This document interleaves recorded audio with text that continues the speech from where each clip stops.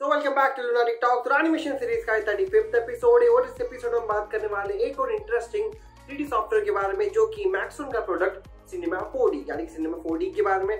तो in case अगर आपने प्रीवियस वीडियोस नहीं देखी तो चैनल पर प्लेलिस्ट अवेलेबल है एनिमेशन सीरीज़ की हिंदी में। आप उन्हें जाके एक्सेस कर सकते हैं।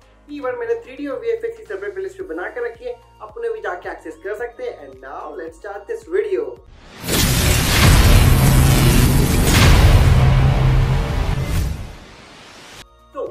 4D एक amazing interesting and super 3D software package जो बाकी थ्री डी सॉफ्टवेयर की तरह ही आपको अलाउ करता है थ्री के सारे सेक्शंस के एक्सेस को सिनेमा 4D में भी आप कर सकते हैं। Modelling lighting scripting texturing rigging animation dynamics and rendering यानी कि कंप्लीट 3D एक सॉफ्टवेयर में। सिनेमा 4D प्रोफेशनली और इंडस्ट्रियल स्केल पे यूज़ होने वाला एक 3D सॉफ्टवेयर है। तो ऐसा क्या है इस सॉफ्टवेयर में? जो इस सॉफ्टवेयर को बाकी 3D सॉफ्टवेयर से काफ़ी ज़्यादा अलग बनाता है। सब हम बात करने वाले सिनेमा 4D के कुछ इंटरेस्टिंग फीचर्स के बारे में। यूज़र फ्रेंडली 3D एटमॉस्फेयर यानी कि सिनेमा 4D एक यूज़र फ्रेंडली सॉफ्टवेयर जो आपको प्रोवाइड करता है यूज़र फ्रेंडली 3D इंटरफेस या कहो 3D वर्कस्पेस जिससे समझना और उस पर वर्क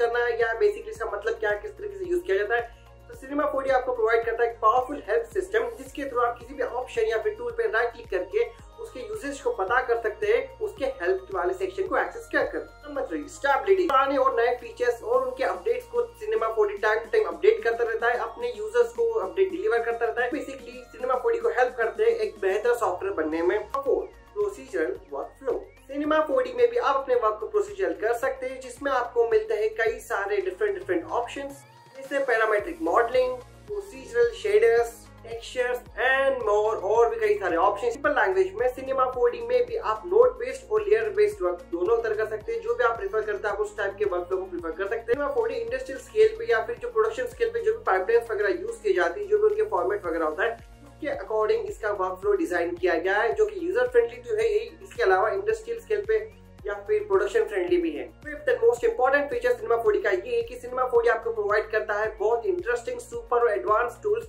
मोशन ग्राफिक्स के लिए सॉफ्टवेयर का मेन पर्पस है यूसेज का इंडस्ट्रियल स्केल पे या फिर इंडस्ट्रियल लेवल पे। बात करते हैं सिनेमा 4D इंडस्ट्रियल लेवल पे कितना और किस लिए प्रीफर किया जाता है। तो इंडस्ट्रियल स्केल पे सिनेमा 4D हाईली और काफ़ी ज़्यादा प्रीफर किया जाता है। हालाँकि 3D के लिए प्रीफर नहीं किया जाता, जो उसकी प्रेफरेंस लेवल है वो है मोशन ग्राफिक्स के लिए। यानी कि सिनेमा 4D को केवल मोशन ग्राफिक्स के लिए सबसे ज़्यादा प्रीफर किया जाता है। इसका मतलब ये नहीं है कि सिर्फ़ मोशन ग्राफिक्स किया जाता है तो 3D के लिए बिल्कुल नहीं किया जाता। बेसिकली 3D में मोशन ग्राफिक्स को जनरेट करना that is also the part of 3D लेकिन अगर हम बात करें 3D के जो सेक्शंस है, जैसे modelling lighting texturing rigging animation dynamics and rendering तो इसके लिए भी प्रीफर किया जाता है लेकिन इतना प्रीफर नहीं किया जाता जितना मोशन ग्राफिक्स के लिए प्रीफर किया जाता है।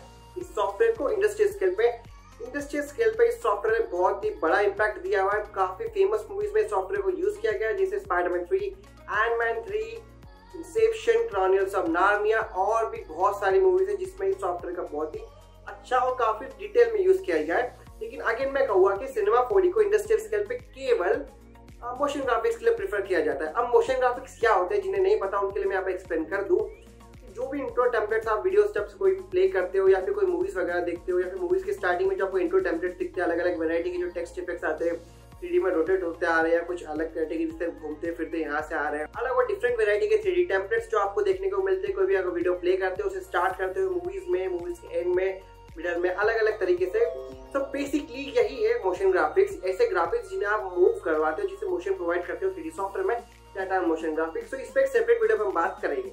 बात करते हैं सिनेमा फोडी को आप किस तरीके से एक्सेस कर सकते हैं। तो सिनेमा फोडी जो कि प्रोडक्ट है मैक्सोन का, उसी की ऑफिशियल वेबसाइट पर आप इस सॉफ्टवेयर को एक्सेस कर सकते हैं। इसका ट्रायल वर्जन अवेलेबल है थर्टी डेज़ के लिए आप इस सॉफ्टवेयर को डाउनलोड कर सकते हैं, इसके ट्रायल वर्जन को एंजॉय कर सकते हैं बट इनकेस अगर आपको सॉफ्टवेयर को परचेज करना है सॉफ्टवेयर के एनुअल और मंथली सब्सक्रिप्शन और भी कुछ जम्बो पैक्स वगैरह, सारे तरह की सब्सक्रिप्शन इसके वेबसाइट पे अवेलेबल है, आप वहाँ पर जाके चेक कर सकते हैं परचेज कर सकते हैं। इवन अगर आप सॉफ्टवेयर को सीखना भी चाहते हो तो इस सॉफ्टवेयर के ट्यूटोरियल्स और इसके यूज़र गाइड लर्निंग के लिए इसकी वेबसाइट पे अवेलेबल है, आप उन्हें भी एक्सेस कर सकते हैं। था छोटा सा वीडियो सिनेमा फोडी के बारे में, जो कि बहुत इंटरेस्टिंग और एक बहुत ही अच्छा यूज़र फ्रेंडली थ्री सॉफ्टवेयर है अगर आप थ्री की इंडस्ट्री में या फिर थ्री के फ़ील्ड में जंप करना चाह रहे हो या फिर उसमें आना चाह रहे हो उसे सीखना चाह रहे हो तो स्टार्टिंग के लिए सॉफ्टवेयर बेस्ट है मैं कहूँगा कि सिनेमा फोडी भी बेस्ट है ब्लेंडर भी बढ़िया है और माया भी बढ़िया है। बेसिकली ऐसे तीन सॉफ्टवेयर है जो यूज़र फ्रेंडली सॉफ्टवेयर है। तो सिनेमा फोडी अगेन मैं यही कहूँगा कि मोशन ग्राफिक्स के लिए सबसे ज़्यादा प्रीफर किए जाते हैं। थ्री के लिए उतना नहीं, लेकिन अगेन ये डिपेंड करता है कि स्टूडियो की पाइपलाइन क्या है और उसका वर्क फ्लो क्या है। आई होप आपको वीडियो पसंद आया होगा। मैं मिलूँगा आपसे नेक्स्ट वीडियो में। Till then bye bye lunatic talks so welcome back to Lunatic Talk.